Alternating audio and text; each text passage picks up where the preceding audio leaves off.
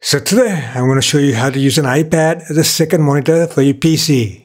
So this method is totally free and you need only a Wi-Fi connection and a free app. So let's go baby. First up you need to make sure both your PC and the iPad are connected to the same router. Next you need to download and install a bit of software called Spacedesk onto your computer. You see the link in the description.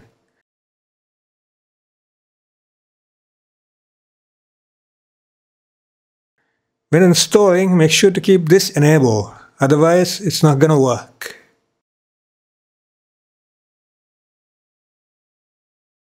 Now on your iPad, go to the App Store and get Spacedesk as well.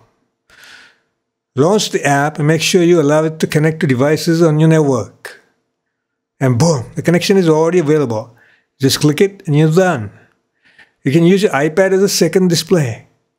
So thanks for watching. See you later.